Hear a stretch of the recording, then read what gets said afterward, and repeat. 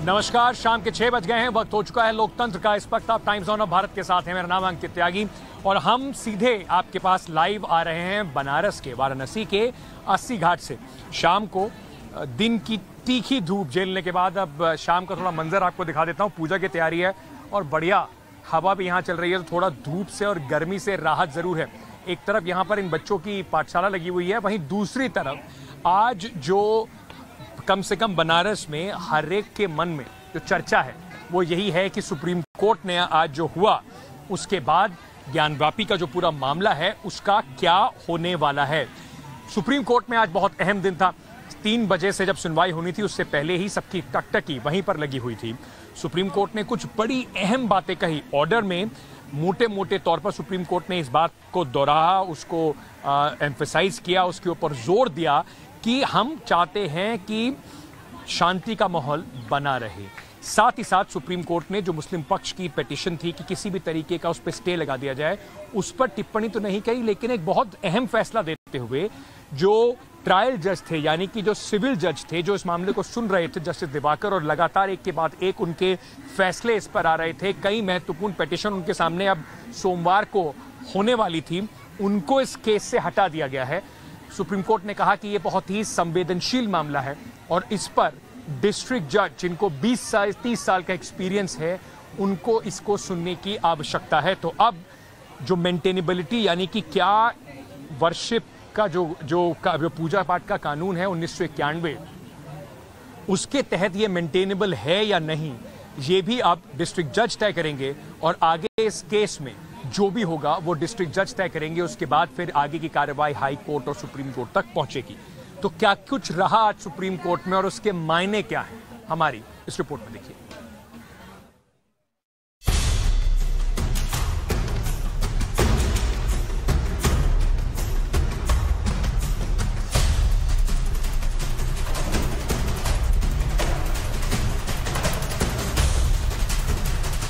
ज्ञानवापी विवाद पर supreme court ने अपने फैसले में ये बात साफ़ कर दी कि हिंदू पक्ष के दावे पर कानूनी लड़ाई जारी रहेगी। यानी कोर्ट ये फैसला करेगा कि ज्ञानवापी मस्जिद है या मंदिर, शिवलिंग है या फिर फवारा।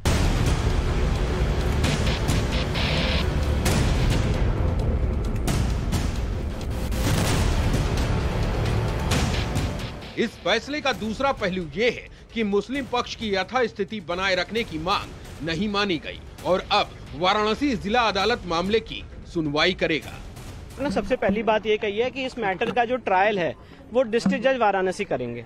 ठीक है? सिविल जज सीनियर डिवीज़न से अब इसका ट्रायल डिस्ट्रिक्ट जज वाराणसी करेंगे। दूसरी बात जो सुप्रीम कोर्ट का इंटरिम ऑर्डर था सत्रह मई का जो एरिया सील किया गया, जहाँ पे शिवलिंग पाया गया, वो बरकरार रहेगा। वज़ू के लिए अरेंजमेंट किया जाएगा। चौथी बात, जो मुस्लिम पक्ष की एप्लीकेशन थी सात ग्यारह की, और प्लेसेस ऑफ़ वर्शिप एट के आर्गुमेंट्स वो भी डिस्ट्रिक्ट जज साहब देखेंगे।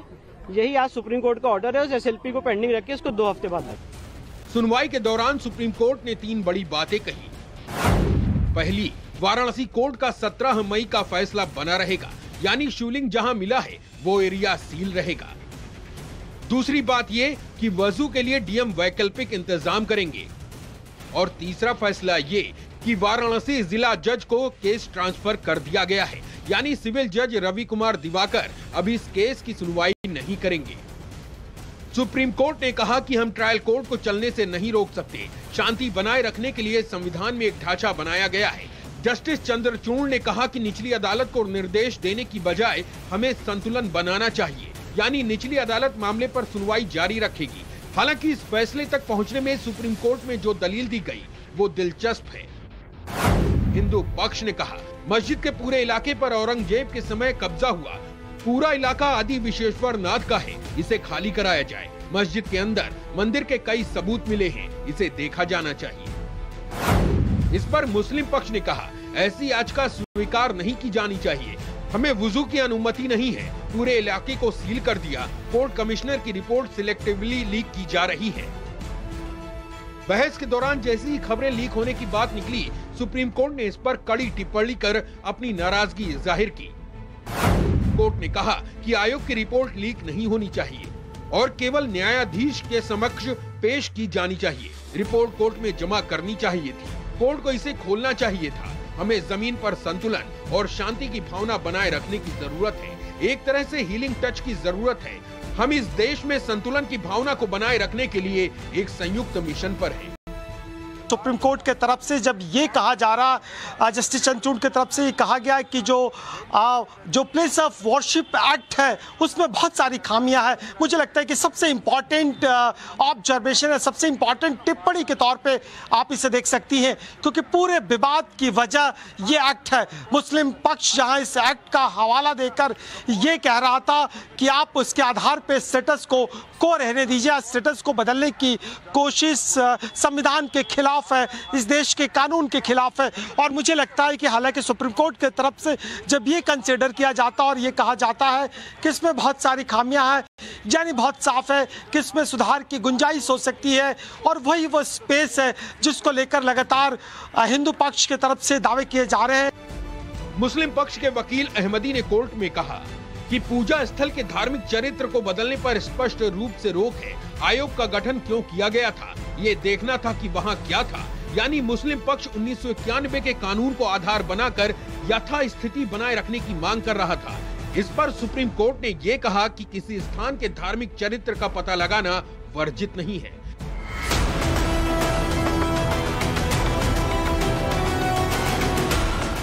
बहरहाल, अब ये साफ़ हो गया कि ज्ञान वापी पर वाराणसी कोर्ट सुनवाई करेगा। यानी मस्जिद और मंदिर की कानूनी लड़ाई शुरू हो गई है। अमित कुमार, रविकांत राय, ज्योति मिश्रा के साथ Ashutosh Singh, Times Now no Bharat. तो ये एक लंबी प्रक्रिया अब शुरू हो जाएगी। इसमें जो भी जो वादी है, प्रतिवादी हैं, जिनके साथ, जिनको अपने जो भी ऑब्जेक्शंस हैं, अब उनको रखने होंगे डिस्ट्रिक्ट जज के सामने। आज, क्योंकि जुमे की नमाज़ थी, उसको लेकर खासी तैयारियाँ, सुरक्षा की की गई थी। बार बार लग रहा था कि जो कोर्ट का ऑर्डर है, उसमें या वज़ू के लिए जो परेशानियाँ होंगी, ऐसा ना हो कि कुछ लॉ एंड ऑर्डर की समस्या शुरू हो जाए। साथ ही साथ इस तरीके की भी आशंका जताई जा रही थी कि मस्जिद में कितने लोग आ जाएँगे वहाँ पर। इस पे जो अंजुमन इंतजामिया कमेटी है जो मस्जिद को देखती है उसने पहले ही एक अपील दायर करी थी और कहा था कि कम से कम लोग आए पर ऐसा हुआ नहीं। हम आज वहाँ पर थे बहुत सारे आ, मुस्लिम श्रद्धालु वहाँ पर पहुँचे जुमे की नमाज़ अदा करने के लिए और कुछ समय के लिए जब अनाउंसमेंट हो रहे थे कि देखिए बहुत सारे लोग अंदर आ चुके हैं अभी फ़िलहाल यहाँ पर आप लोग अंदर ना जाएँ थोड़ी तीखी नोकझोंक प्रशासन और लोगों के बीच में ज़रूर हुई। लेकिन जो मस्जिद कमेटी थी उनके समझाने पर और पुलिस और प्रशासन के शांतिपूर्वक काम लेने से कोई भी स्थिति हाथ से नहीं निकली। दोपहर की तपती गर्मी में किस तरीके से आज गेट नंबर चार, जहाँ जो कॉमन एंट्रेंस है, मस्जिद का और काशी कॉरिडोर का, वहाँ पर क्या क्या हुआ, इस रिपोर्ट में देखिए।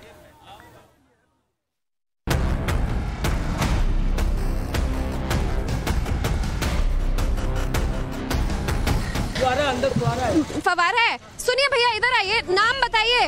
अच्छा ये बताओ तो आप कह तो रहे हैं कि फवारा है? फवारा है फवारा है। फवारा सौ परसेंट। साबित हो जाए असल बात की जो पहले शिवलिंग जो वहाँ निकल गया हुआ है हाँ। उसी के कारण ही इतना भीड़ हो रहा है। वो लोग भी दिखाना चाह रहे हैं कि मतलब कि हम भी कम नहीं हैं हम भी हैं थोड़ा बहुत। ज्ञानवापी मस्जिद के सामने पुलिस मुनादी कर रही है। मस्जिद में आने की हड़बड़ी न करें, धक्का मुक्की से बचे। ज्ञानवापी की तरफ़ बढ़ते मुस्लिम समुदाय की भीड़ को पुलिस लगातार वापस लौटाती रही। इलाके की किलेबंदी कर दी गई थी। गेट पर भारी संख्या में पुलिस बल का पहरा था। लेकिन इसके बावजूद भीड़ आती रही और मौके पर तैनात पुलिस उन्हें वापस लौटाती रही। दरअसल ज्ञानवापी मस्जिद में जुमे की नमाज़ को लेकर भारी भीड़ उमड़ आई थी। भीड़ इतनी थी कि पुलिस मुनादी करने लगी। मस्जिद के कर्मचारी नो एंट्री का बोर्ड लेकर खड़े हो गए। इसके बाद कुछ नमाजी लौटने लगे तो कुछ अंदर जाने की जिद करने लगे। सर एक बार और बोल दीजिए। सुनाई नहीं दे रहा पीछे लोगों ना एक बार और बोल दीजिए। लगा के गद्दे लोग अभी ऐसे हुई सब कम लगी है। सब पाई लग चुकी है। देखा तो ये देखा था नहीं नीचे कर लेना माइक भाई फ्रेम में आ रहा है। हालात में सब हो सकती है ये लीजिए। सत्ता हो सकता है। टीवी नाइन माइक थोड़ा नीचे कर लीजिए अर्जुन जी! तमाम सब ऐसे नहीं तब फिर सब कबाई जावे में कौन रोका जा रहा है? जब मस्जिद वहाँ पे जो मुंतजमीन है आप अपने है आपका ये काम नहीं है देखना। आप हमको दिखाइए आप तो बात अच्छी नहीं कर रहे हैं ना। ऐसा नहीं हर आदमी हर आदमी देखेगा तो नहीं होगा। जुमे की नमाज़ के लिए भारी भीड़ उमड़ गई। पहले वहाँ 40 लोगों की नमाज़ पढ़ने की जानकारी थी लेकिन बताया गया कि 600 से ज़्यादा नमाजी मस्जिद पहुँच गए। भीड़ इतनी बढ़ गई कि पुलिस को हरकत में आना पड़ा और नमाजियों को वापस लौटना पड़ा। जो अधिकारी है, वो माइक लेकर और मस्जिद कमेटी के जो एक सदस्य हैं, वो अनाउंसमेंट कर रहे हैं कि मस्जिद फुल हो चुका है। आप देखिए, यहाँ पर बड़ी तादाद जो मुस्लिम भाई हैं वो यहाँ पर इकट्ठा हो गए हैं और मस्जिद में यानी कि जगह है वो फुल हो गई पास में जो हमारी मस्जिद है तो आप सुन सकते हैं साफ़ तौर पर जो मस्जिद कमेटी के लोग हैं वो अपने भीड़ ज़्यादा हो गई है तो अब जो बहुत गर्मी भी है संख्या। बूढ़े बच्चे सब लोग हैं इसलिए सबकी सुविधा को देखते हुए आसपास भी बहुत सारी मस्जिदें हैं तो कहीं पे भी नमाज़ अदा की जा सकती है सबकी सिक्योरिटी के लिए सबकी सहूलत के लिए और मस्जिद का जो मैनेजमेंट है उसको सही रखने के लिए ये अपील की जा रही है कि मैनेजमेंट ठीक है इस समय मैनेजमेंट अंदर का मैनेजमेंट कैसा है इस बहुत अच्छा है बहुत अच्छा है। जगह कम होगा वज़ू के लिए नहीं बता सकते तादाद वगैरह। मस्जिद के कर्मचारी और प्रशासन अपील कर रहा है पास के दूसरे मस्जिद में चले जाएँ या फिर घर पर ही नमाज़ अदा कर लें। मुस्लिम भाई जितने हैं इन्हें लाइन में पूरे डिसिप्लिन के साथ अंदर भेजा जा रहा है ताकि दूसरी जगह ये नमाज़ अदा कर सके और माहौल को नियमित कंट्रोल में रखने की पूरी कोशिश की जा रही है। अ, काफ़ी बड़ी तादाद में लोग यहाँ पर मौजूद हैं। अगर मेरे कैमरे से आप, देख पाए कि पहले दस बीस आपको मुसलमान नज़र आ रहे थे जिन्हें अंदर नहीं जाने दिया गया लेकिन अभी ये आंकड़ा लगभग सौ दो सौ से ऊपर का नज़र आ रहा है। जिला प्रशासन ने ज्ञान वापी मस्जिद की इंतजामिया कमेटी से पहले ही जुमे के दिन शांति पूर्वक नमाज़ अदा कराने में सहयोग की अपील की थी। प्रशासन ने आगाह किया था कि कोई भी व्यक्ति सील और प्रतिबंधित क्षेत्र में प्रवेश करने का कतई प्रयास न करे। यानी वाराणसी कोर्ट के आदेश का पालन हो। ये जो क्षमता है, ये सिर्फ़ और सिर्फ़ 500 लोग ही एक वक्त पे नमाज़ पढ़ सकते हैं। तो उनका ये साफ़ कहना था कि ये सिर्फ़ जो जो क्षमता है, जो लोग गए हैं, अगर क्षमता से ज़्यादा कोई भी होगा, उसको अंदर नमाज़ पढ़ने की इजाज़त नहीं दी जाएगी। लोग ज़्यादा आ गए थे तो इसीलिए फिर बाकी लोगों को रोक दिया गया, क्योंकि यहाँ पर बड़ी संख्या में लोग पहुँचे थे। अच्छी बात यह रही कि जिला और मस्जिद प्रशासन के फैसले का नमाजियों ने पालन किया। कोई गड़बड़ी नहीं हुई। इस बात का खास ख्याल रखा जा रहा था कि कोई भड़काऊ बयान न दे। ये संख्या अचानक की सब कहीं कुछ लोग बोल रहे थे कि पहले ऐसा होता नहीं था इतनी भीड़ नहीं होती थी देखिए बहुत सी चीज़ें ऐसी होती हैं कि ये सब मौके पर हो जाता है वो अच्छा। कोई। बहुत बड़ी बात नहीं है ये बहुत ट्रेंड रहा है कि जब कोई बात ऐसी हो जाती है बात होती है तो फिर भीड़ बढ़ जाती है भीड़ बढ़ जाती है और ऐसा कुछ नहीं है सब लोग यहाँ बहुत अमन शांति से रहने वाले हैं, कोई कोई दिक्कत नहीं आप देख लीजिए यहाँ पे तो आप देख ही रहा हूँ कि सब लोग मिलजुल के बनारस मिलजुल के चलता है ऐसा कुछ यहाँ पे एक सौ पचास करोड़ हिंदू मुसलमान सब एक साथ हैं सब एक साथ हैं सब एक दूसरे के साथ है खाना पीना जीना मरना है। वाराणसी के लोगों ने मस्जिद और मंदिर के इस विवाद में एक बात ज़रूर तय कर ली है। वो शांति से कोर्ट के फैसले को सिर माथे लगाएँगे और साथ ही ऐसे लोगों की पहचान भी करेंगे जो गड़बड़ी फैलाने की कोशिश कर रहे हैं। ज्योति मिश्रा और अमित कुमार के साथ Ravikant Rai, Varanasi, Times Now, no Bharat. Banaras की तो बहुत सारी बात आपको दिखाई बड़े सारे लोगों की बात भी सुनाई और चित्र भी दिखाए लेकिन आप थोड़ा सा बिहार ले चलता हूँ आपको। वहाँ पर सीबीआई की एक रेड ने माहौल पूरा गर्मा दिया है। लालू प्रसाद यादव उनके घर पर उन, उनकी पत्नी साथ में उनकी बेटियों को सीबीआई की का रेड का आज सामना करना पड़ा।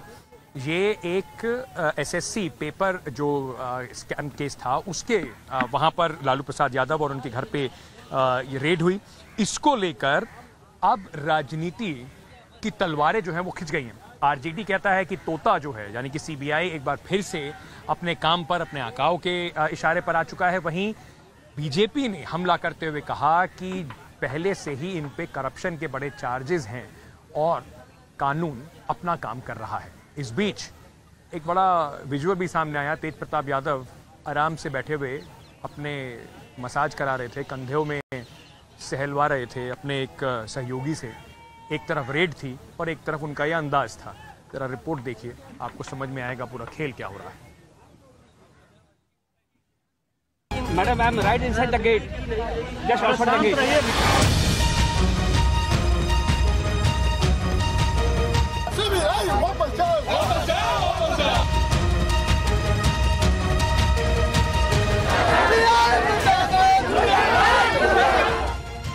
अपनी ज़मीन दो और नौकरी लो। आरोप है कि रेल मंत्री रहते हुए लालू यादव ने यही फॉर्मूला अपना लिया था।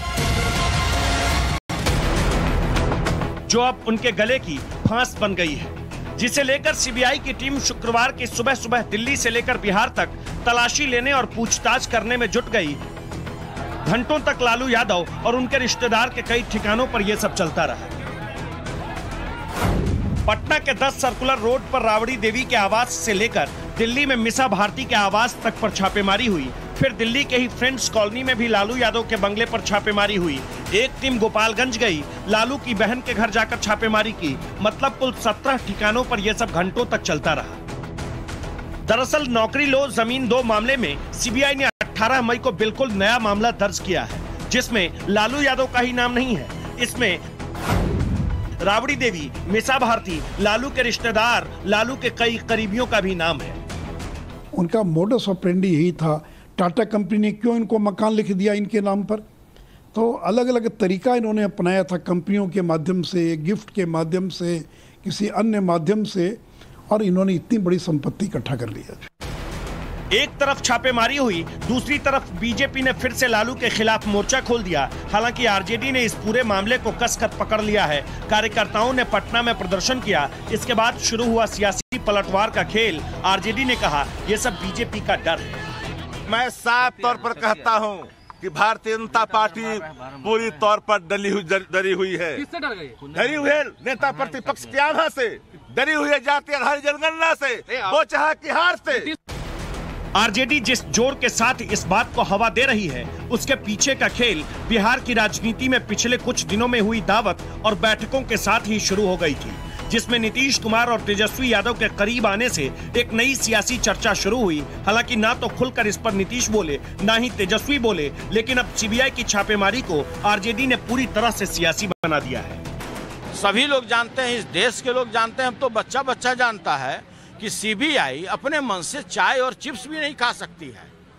कहने को स्वायत्त संस्था है कहने को ऑटोनोमस बॉडी है लेकिन अपने मन से वो कोई कार्य नहीं करती है। इसके लिए केवल मैं इतना ही कहूँगा कि जैसी करनी तैसी भरनी इसके सिवा कुछ कहने के लिए है नहीं मेरे पास। इस उठापटक के बीच तेजस्वी यादव लंदन में हैं। जेल से आने के बाद बेटी मिसा भारती के साथ लालू खुद दिल्ली में हैं, जबकि तेज प्रताप के साथ राबड़ी पटना में है। अब सीबीआई की कार्रवाई ने बिहार की राजनीति में नई और आर पार वाली सियासी लड़ाई का मौका दे दिया है, जिसके बाद आरजेडी इस बात पर ज़्यादा ज़ोर दे रही है कि लालू के जेल से बाहर आने पर बीजेपी फिर से डरी हुई है। ब्यूरो रिपोर्ट, टाइम्स नाउ, नव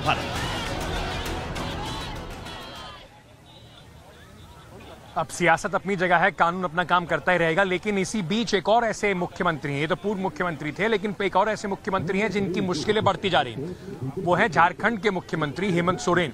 और क्यों उनकी मुश्किलें बढ़ती जा रही हैं, जरा ये समझा देते हैं थोड़ा सा आपको। झारखंड के मुख्यमंत्री हेमंत सोरेन जो हैं आई ऑफिसर पूजा सिंघल, जो वहाँ पे उनकी खनन सचिव थी उनको लेकर जिसको इन्फोर्समेंट डायरेक्टरेट की वहाँ पर उनके खिलाफ जाँच भी चल रही है, उसको लेकर उनकी मुश्किलें अब बढ़ती जा रही हैं। खनन आवंटन मामले में ईडी की ओर से झारखंड हाईकोर्ट में शपथ पत्र दाखिल किया गया, जिसमें मुख्यमंत्री के लिए बिल्कुल भी अच्छी खबर नहीं है। इन्फोर्समेंट डायरेक्टरेट हेमंत सोरेन के ऊपर आरोप लगा रही है और उनके ऊपर इन्वेस्टिगेशन की, यानी कि ईडी की गिरफ्त में आई हुई पूजा सिंगल के बाद हेमंत सोरेन के दरवाजे तक उनके तार पहुँचते नज़र आ रहे हैं। अब इन्फोर्समेंट डायरेक्टरेट दोनों इन्फोर्समेंट डायरेक्टर दोनों उनके निशाने पर हैं। पूजा सिंगल को पहले ही गिरफ़्तार कर लिया गया है। वहीं ईडी ने हाईकोर्ट में जो शपथ पत्र दाखिल किया है, उसमें कहा है कि मुख्यमंत्री हेमंत सोरेन को खनन लीज आवंटित करने में खान सचिव पूजा सिंगल की महत्वपूर्ण भूमिका थी और साथ ही साथ इसके पक्के सबूत इन्फोर्समेंट डायरेक्टरेट को मिले हैं। उन्होंने ये भी कहा कि झारखंड हाईकोर्ट से ईडी ने सीलबंद लिफाफे में एक रिपोर्ट मांगी गई है। ईडी चाहता है कि वो किसी न किसी तरीके से हेमंत सोरेन से भी पूछताछ कर पाए। वहीं झारखंड सरकार ने उच्चतम न्यायालय में हाईकोर्ट के इस आदेश को चुनौती दी है, जिसमें अदालत ने ईडी के सीलबंद लिफाफे में रिपोर्ट मांगी थी और उसमें इस मामले में अगली सुनवाई 24 मई को होगी। दरअसल, हेमंत सोरेन, जो मुख्यमंत्री हैं और उनके परिवार पर कथित तौर पर मनी लॉन्ड्रिंग और फर्जी कंपनियों का आरोप लगाया जा रहा है और आय से अधिक संपत्ति के आरोप भी उन पर लग रहे हैं। झारखंड हाईकोर्ट ने सभी 28 कंपनियों की जाँच के आदेश दिए हैं, जिसमें हेमंत सोरेन और उनके भाई वसंत सोरेन का निवेश है। साथ ही साथ अब इस मामले को झारखंड हाईकोर्ट में सौंपी सौंपी गई ईडी की रिपोर्ट जो है, उसमें हेमंत सोरेन के नाम पर खनन पट्टा आवंटित करने में निलंबित खनन सचिव पूजा सिंगल की भूमिका की बात कर रही है, जिसके कारण हेमंत सोरेन के दरवाजे तक मुश्किलें पहुँच सकती हैं।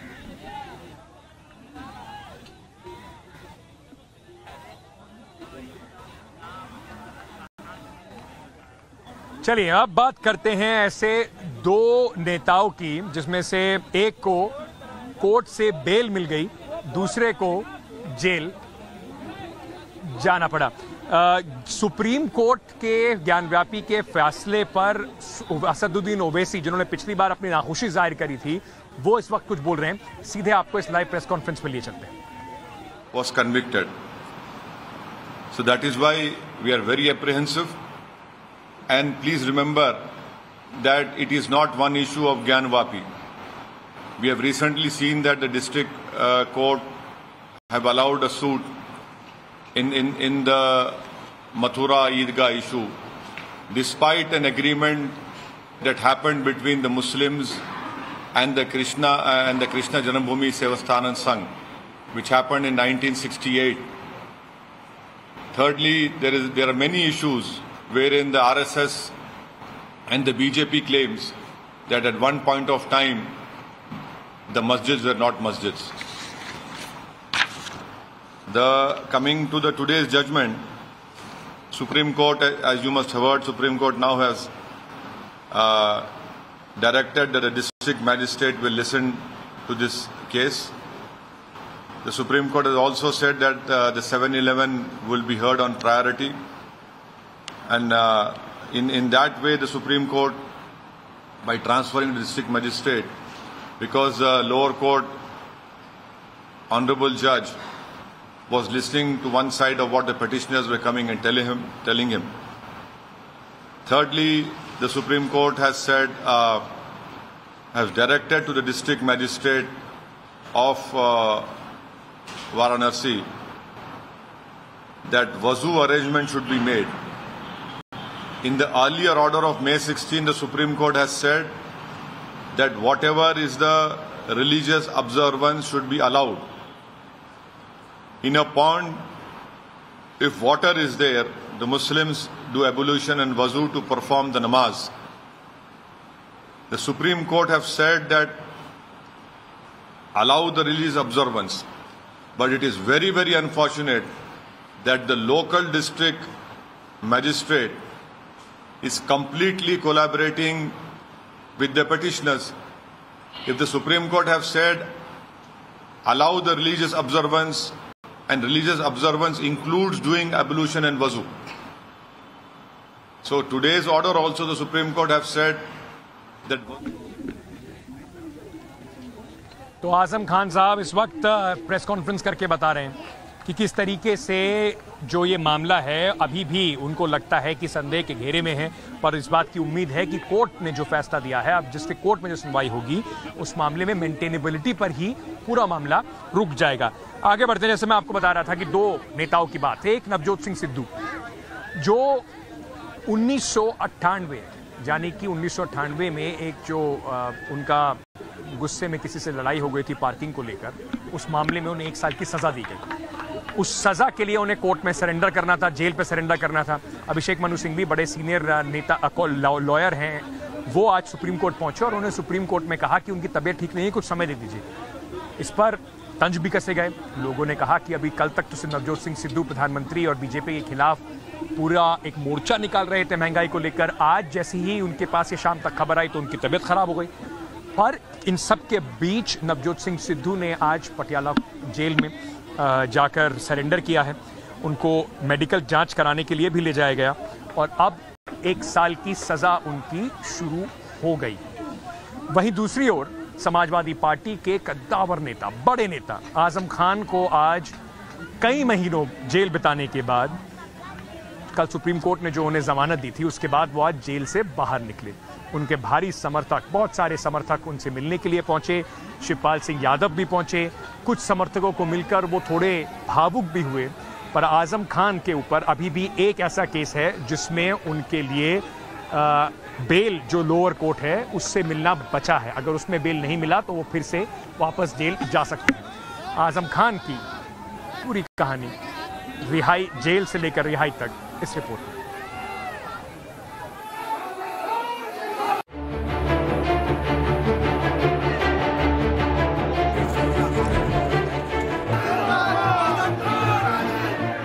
सत्ताईस महीने के बाद आज़म खान जेल से बाहर जब आए तो समर्थकों का वही शोर था, वही ज़ोर था। आज़म के दिल में दर्द का समंदर तो रहा होगा, लेकिन इस ज़ोर और शोर को देखकर उनका दर्द कुछ कम भी ज़रूर हुआ होगा। महीनों बाद जेल से मिली आज़ादी पर आज़म भावुक हो गए। सफ़ेद कुर्ता पैजामा आँखों पर काला चश्मा रंगे हुए बाल आज़म जैसे ही जेल से बाहर निकले तो उसी अंदाज में दिखने की कोशिश की जैसा कि वो अमूमन रहते हैं। आज़म को घर लाने के लिए उनके दोनों बेटे सीतापुर जेल पहुँचे थे। वहीं मीडिया से बात की कहा इस खुशी का कोई ठिकाना नहीं है। सुप्रीम कोर्ट के फैसले को किस तरह देखते हैं? सर खुशी है आपको? बिल्कुल बहुत बहुत खुशी। आज़म खान के जेल से निकलने की खबर पर खुद शिवपाल यादव भी लखनऊ से सीतापुर गए। फिर आज़म को गले लगाया, उन्हें दोस्त बताया। मीडिया के सामने तस्वीरें भी खिंचवाई। इसके बाद भी मेल मुलाकात का दौर जारी रहा। फिर आज़म अपने समर्थकों के साथ रामपुर के लिए निकल गए। गुरुवार को जब आज़म को जमानत मिली थी तो अखिलेश ने कोई ट्वीट नहीं किया। लेकिन उनके जेल से बाहर आने पर ट्वीट के ज़रिए ही एक संदेश दिया और लिखा, वेलकम मिस्टर खान। आज़म खान जी के जमानत पर रिहा होने पर हार्दिक स्वागत। पूरा एतबार है कि वो अन्य सभी झूठे मामले मुकदमों में बाइज्जत बरी होंगे, झूठ के लम्हे होते हैं, सदियाँ नहीं। आज़म खान पर एक दो नहीं, कुल नवासी मामले दर्ज किए गए थे और फिर एक एक करके उनके सामने मुसीबतों का पहाड़ खड़ा किया गया था। 814 दिन के बाद जेल से निकले हैं आज़म खान। सभी नवासी मामलों में जमानत मिल गई है। आज़म खान पर जिस तरह के मुकदमे दर्ज थे, ये कोई राज्य सरकार के द्वारा पॉलिटिकल वेंडेटा के आधार पर दर्ज किए गए मुकदमे नहीं थे। ये मुकदमे पीड़ितों की ओर से, गरीबों की ओर से, उनकी ओर से दर्ज कराए गए थे, जिन पर अत्याचार किया था आज़म खान ने सत्ता में रहते हुए। आज आज़म खान की जमानत हुई है। जमानत का मतलब ये नहीं होता है कि उनको दोष मुक्त मान लिया गया है। उनके अपराधों की उनके माफ़ी मिल गई है। आज़म खान को सजा मिलकर के रहेगी। ट्रायल कोर्ट जब अपना ट्रायल पूरा करेगी तो आज़म खान के लिए सजा मुकर्र ज़रूर होगी। सिर्फ़ बीजेपी ही नहीं, आज़म खान के जेल से बाहर आते ही समाजवादी पार्टी के भीतर चल रही सियासी उठापटक पर भी चर्चाएँ शुरू हो गई है। कहा तो यहाँ तक जा रहा है कि अखिलेश यादव से खुद आज़म नाराज़ हैं और ये नाराज़गी अब आगे बढ़ी तो समाजवादी पार्टी और अखिलेश दोनों के लिए दिक्कतें बढ़ जाएँगी। Bureau report, Times Now, Nav Bharat.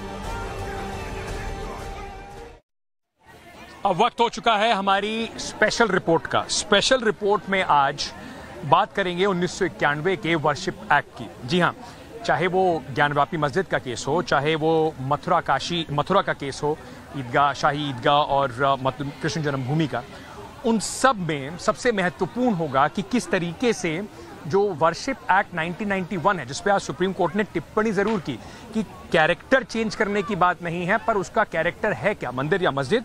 इस पर कोई रोक टोक नहीं लगाता है उन्नीस सौ इक्यानवे का वर्शिप एक्ट वो सबसे अहम होगा। तो क्या ये एक बड़े एक कोर्ट में जिस तरह से बात हुई कि एक देश के अंदर जिस तरीके के हमारे देश के अंदर विभाजन है, ऐसा एक्ट ज़रूरी है जिससे कि हर रोज़ कोई नया विवाद ना खड़ा हो, इतिहास को इतिहास में रहने दिया जाए, या फिर जो एक कम्युनिटी है मेजॉरिटी कम्युनिटी है बहुसंख्य जो लोग हैं, उनके जिस तरीके के धार्मिक भावनाएँ हैं, उसका सम्मान में सबसे बड़ी बाधा इस एक्ट के कारण ही आती है। इस पर लीगल एक्सपर्ट्स क्या कहते हैं? जनता दोनों जगह की उनकी क्या राय है? इस पर देखिए हमारी विशेष रिपोर्ट।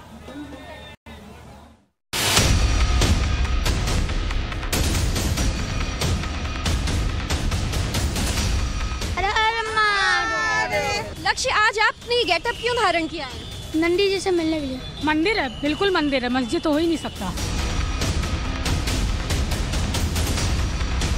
मिल बैठ के कानूनी तरीके से जो कोर्ट प्रोसीजर है लेट द कोर्ट डिसाइड आप लोग आसपास की मस्जिदों में नमाज़ अदा कर लें।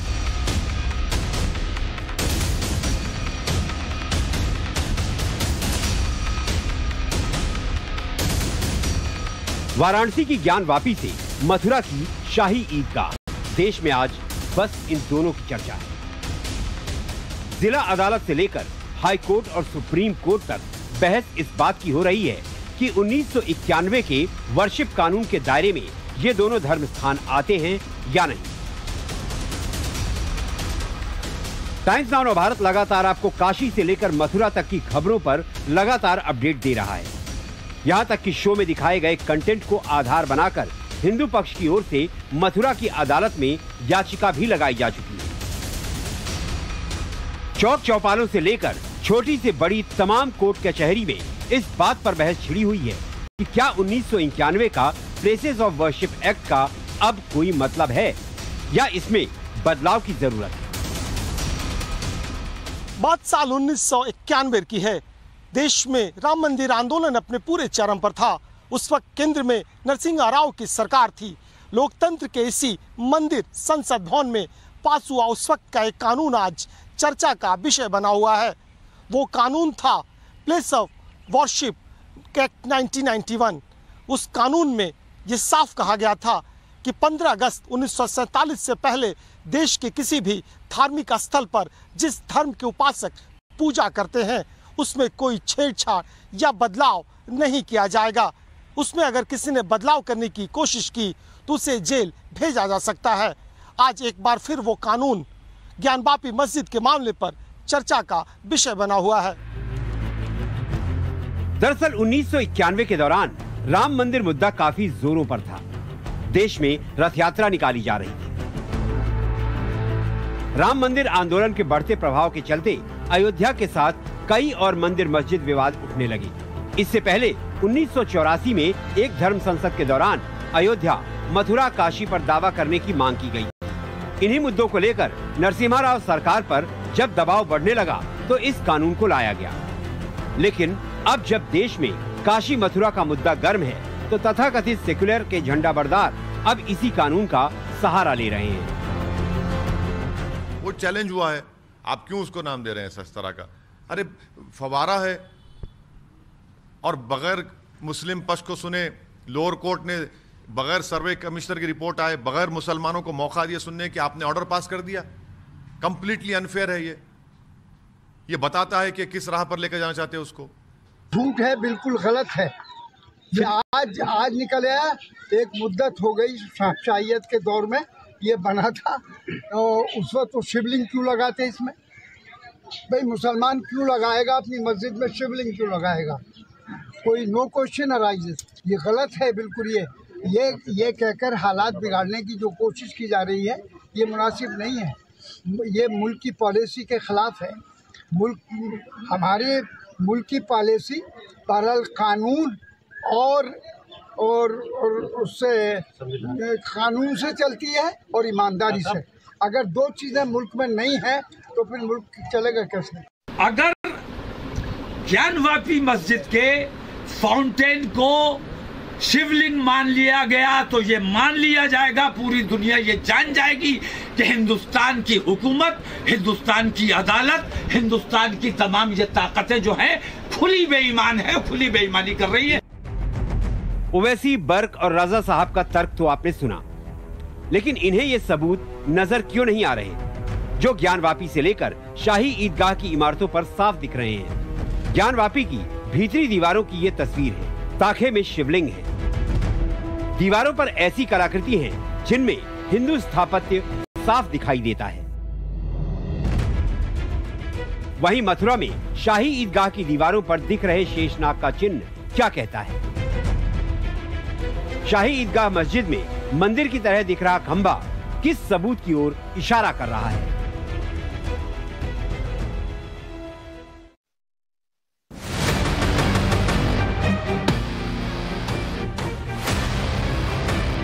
ज्ञानवापी से लेकर शाही ईदगाह तक ऐतिहासिक सबूत इस बात की तस्दीक कर रहे हैं कि यहाँ पहले क्या था और आज क्या है।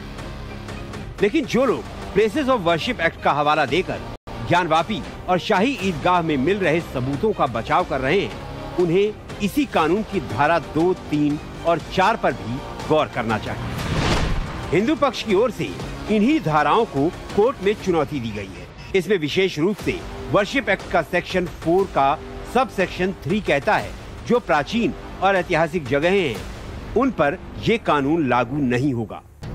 मतलब साफ़ है कि अगर कोई जगह जिसका ऐतिहासिक महत्व है, उसे प्लेसेस ऑफ़ वर्शिप एक्ट के तहत नहीं लाया जाएगा।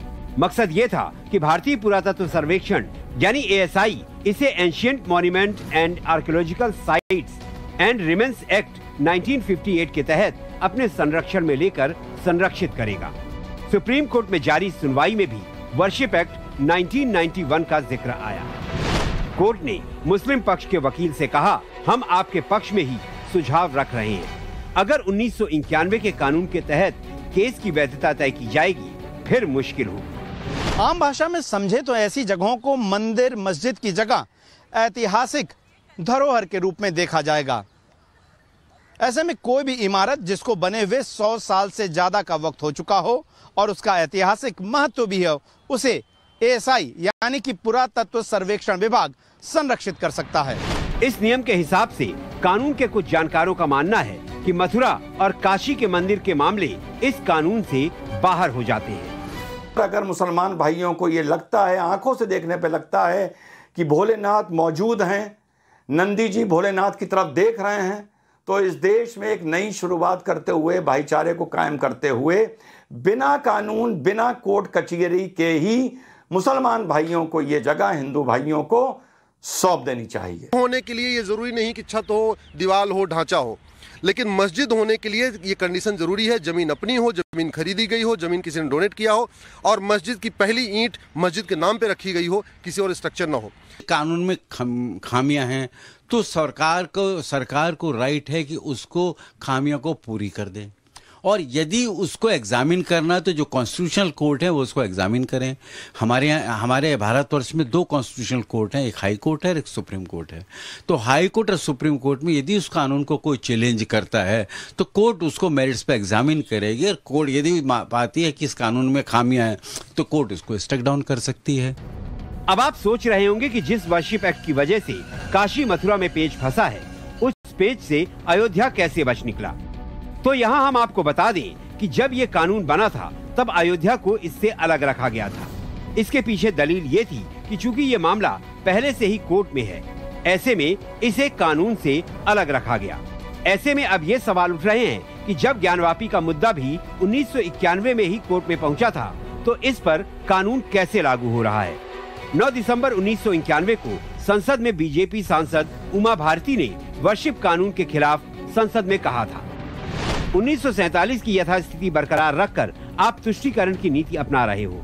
गाँव में बैलगाड़ी के मालिक बैल की पीठ पर घाव बनाकर रखते हैं। जब वो अपनी बैलगाड़ी को तेज दौड़ाना चाहते हैं तो वो घाव कुरेद देते हैं। इसी तरह ये विवाद भारत माता पर घाव और गुलामी के निशान है। जब तक बनारस में ज्ञानवापी अपने मौजूदा स्वरूप में रहती है ये हमें औरंगज़ेब के जुल्मों की याद दिलाती रहेगी।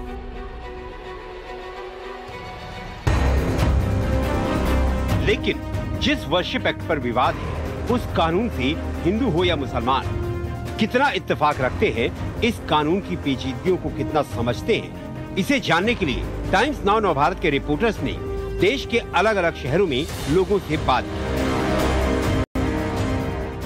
उसको बैठ के मसले को हल किया जाए और इसको कानून को नहीं हटाना चाहिए देखना चाहिए। बदल दिया तोड़ के बना दिया तो वो तो गलत किया। तो फिर से उसको उसी जगह पे वैसा ही मंदिर भव्य निर्माण मंदिर का होना चाहिए। कुतुब मीनार है कुतुब मीनार में सारी आकृतियाँ आज भी हमारी हिंदू देवी देवताओं की हैं और उसको तोड़ खंडित कर दिया गया है। तो वो ये था ना कि मतलब कोई भी बीच में आया उसने अपना रेंट पे लिया और वो उसका अपना हो गया ऐसा तो नहीं होता है। ये एक्ट हटना चाहिए और हमें जितनी हमारी धार्मिक स्थल है हमारे चाहे वो काशी हो चाहे वो मथुरा हो हमें सब वापस मिलना चाहिए। और ये ख़ास तबके के लोग हैं जो कुछ न कुछ ऐसी चीज़ें पैदा करते हैं जिससे हिंदू और मुस्लिम वाली बात आ जाए और मस्जिद और मंदिर वाली बात आ जाए। लेकिन ये है तो धर्म जो भी जिसका भी हो किसी का भी हो लेकिन धर्म में कभी भी ऐसा बात विवाद नहीं होना चाहिए।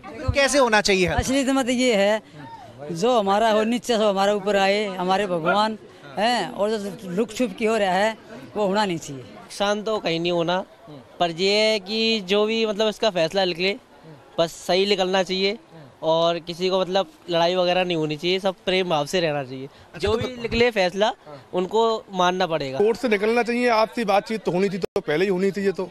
ये तो अब सरकार जब बनी है हिंदुत्व की जो हिंदुत्व में काम हो रहे हैं हिंदुत्व सरकार बनने के बाद में अब ये लोग कह रहे हैं कि आपसी बात करी जाए कोई मन मुटाव नहीं हो हम लोगों के बीच में दोनों पक्षों के बीच में। ये तो उनको पहले सोचना चाहिए था। मंदिरों को तोड़कर मस्जिदों का ढांचा दिया गया है। पूजा स्थलियों को तोड़ दिया गया है मूर्तियों को फेंक दिया गया है खंडित कर दिया गया है। और वहाँ यह उस देश को सुधार के बदले उसे और स्टे कर देना कि नहीं जो उन्होंने किया वही सही है यह कानून गलत है। आप भारत में सौहार्द का वातावरण बना के रखिए। और जो मंदिर प्रांगण काशी में है, वो भगवान विश्वेश्वर, वो भगवान काशी विश्वनाथ की मंदिर है और ये सत्य है। बनारस अति प्राचीन कालीन ये नगर है। भारत कोई या सनातन कोई या बनारस 1947 के बाद या 1500 वर्ष पहले स्थापित नहीं हुआ। जब इस देश में तमाम कानून रद्द हो सकते हैं तो इस कानून को भी रद्द किया जा सकता है। वर्तमान स्थिति को देखते हुए अगर इसमें किसी भी तरीके का कोई अमेंडमेंट करना अगर होना परिवर्तन इसमें किया जा सकता है जिससे कि ये विवादित मामले जो हैं इनका निराकरण किया जा सके तो ये इसमें संशोधन करके जो है इसका निपटारा करना चाहिए शीघ्र। अतिशीघ्र ज्ञानवापी और शाही ईदगाह को लेकर भले ही चंद दशक पहले मामला कोर्ट में गया हो लेकिन लड़ाई सैकड़ों सालों से लड़ी जा रही है। इसलिए इस मामले पर फैसला होना भी ज़रूरी है। और bureau report, Times Now Now Bharat.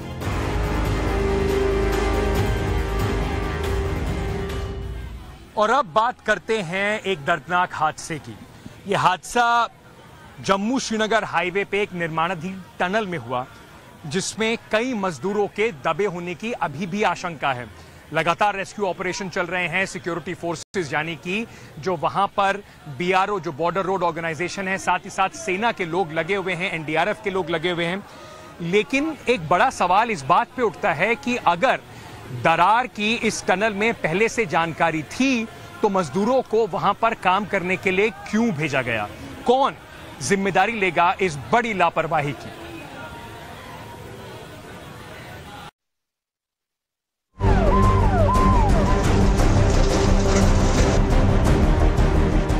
Jammu Srinagar national highway पर खूनी नाले के पास बर्बादी और तबाही का मंजर। है धूल, गुबार, पत्थर और मलबों के बीच फंसी ज़िंदगी। निर्माणाधीन टनल के धंसने से 9 से 10 मजदूरों के अंदर फंसे होने की खबर है। कोई नहीं जानता उनके साथ क्या हुआ है। जहाँ पे खड़ा हूँ, इस इलाके को मकरकोट कहते हैं और खूनी नाला भी कहते हैं। मैं अभी आपको बताता हूँ, वो जगह है जहाँ पे सुरंग बन रही थी अंडर कंस्ट्रक्शन सुरंग थी। कल देर रात क्या होता है, सुरंग डह जाती है। उस, उसकी वजह से जो सात से आठ के करीब जो मजदूर हैं, वो अंदर मलबे के अंदर फंसे हुए आप देखिए, जेसीबी मशीन के द्वारा उस मलबे को हटाने की पूरी कोशिश की जा रही है ताकि मलबे को हटाएँ और ये जो आठ के करीब जो मजदूर अंदर फंसे हुए हैं, उनको वहाँ निकाला जाए। राहतकारी पूरी तरह से चल रहा है। हादसा गुरुवार रात करीब 11 बजे रामबन ज़िले के मेकरकोट इलाके में जम्मू श्रीनगर नेशनल हाईवे पर हुआ। बताया जा रहा है कि हादसे के वक्त मजदूर टनल के अंदर काम कर रहे थे और कुछ बाहर टनल के मुहाने पर खड़े थे। वहीं हादसे में सुरंग के सामने खड़े वाहन बुलडोजर ट्रकों सहित कई मशीनों को भी नुकसान पहुँचा है। किस तरीके से? सुरंग के ढह जाने की वजह से आप गाड़ी को भी देख सकते हैं। पूरी तरह से गाड़ी तबाह हो चुकी है। दूसरी एक और जेसीबी मशीन पास में खड़ी थी, वो भी पूरी तरह से मलबे के अंदर दबी हुई है। बहुत ही मुश्किल कार्य है इनके लिए समय इनको मलबे को हटाना और उन मजदूरों को निकालना। चार के करीब जो मजदूर थे, उन्हें इंजरीज हुई हैं और उन जख्मी हालत में उनको साथी के अस्पताल में शिफ्ट किया गया है। देखिए, इस इलाके को खूनी नाला कहते हैं। मैं आपको बताता हूँ, इसको खूनी नाला क्या कहते हैं? आप देख सकते हैं, ये नेट जैसी बनी है। क्योंकि अक्सर यहाँ पे शूटिंग स्टोन्स आते हैं, जिसकी वजह से जो गाड़ियाँ होती हैं, उन पर टकरा जाते हैं। बचाव कार्य जोरों पर चल रहा है। नागरिक प्रशासन और पुलिस अधिकारी मौके पर है। बचाव दल की कोशिश है कि टनल में फंसे मजदूरों को सुरक्षित बाहर निकाला जाए। मलबा हटाने में बहुत सावधानी बरती जा रही है। खतरा इस बात का है कि कंपन की वजह से कहीं दोबारा पहाड़ में दरार न पड़ जाए। क्योंकि निर्माणाधीन टनल के पास पहाड़ से पत्थरों का गिरना आम है। ये इतना खतरनाक है कि इसे खूनी दर्रा कहा जाता है। ये मकरकोट का इलाका है, जो रामबन डिस्ट्रिक्ट में पड़ता है, इसे खूनी नाला कहते हैं। खूनी नाला इसलिए कहते हैं क्योंकि अक्सर यहाँ पे शूटिंग स्टोन और लैंडस्लाइड्स आते हैं, जिसकी वजह से कई बार गाड़ियों से टकरा जाते हैं। यही एक वजह देखी होगी आपने कि पिछले कई वर्षों से यहाँ पे नेट लगाई गई थी, जो शूटिंग स्टोन की वजह से पूरी तरह तबाह हो गई है। यही वजह थी कि National Highway Authority of India को लगा कि इस इलाके में एक टनल होनी चाहिए प्रॉपर टनल जिसकी वजह से शूटिंग स्टोन की वजह से कोई गाड़ी को किसी भी वक्त राष्ट्रीय जो जम्मू श्रीनगर का मार्ग है उस पर नुकसान न हो। इधर रेस्क्यू ऑपरेशन के दौरान मजदूरों ने प्रशासन के खिलाफ नारेबाजी मजदूर गुस्से में हैं। उनका आरोप है कि खतरे को लेकर पहले से आभास हो गया था लेकिन इसके बावजूद काम नहीं रोका गया। यह हादसा नहीं बल्कि जानबूझकर की गई लापरवाही है। एक्सीडेंट जो रात को 11 बजे हुआ है ये मेन रोड पे नहीं, एक टनल जो बननी स्टार्ट हुई थी, वहाँ पर लेबर काम कर रही थी। वहाँ पर रात को 11 बजे जैसे ही इन्फॉर्मेशन मिली तो यहाँ पर इमीडिएटली रेस्क्यू ऑपरेशन स्टार्ट किया गया। यहाँ पर डिस्ट्रिक्ट एडमिनिस्ट्रेशन जिला पुलिस और एसडीआरएफ की टीम ने किया, जिसमें तीन लोगों को उसी टाइम इवेक्यूट किया गया, जो अभी सेफ़ है। उसके अलावा जो 10 लोग अभी जो सूचना मिली है जो कंपनी से वहाँ से लिया गया अभी तक अंदर है। उसके लिए पूरी रेस्क्यू किया जा रहा।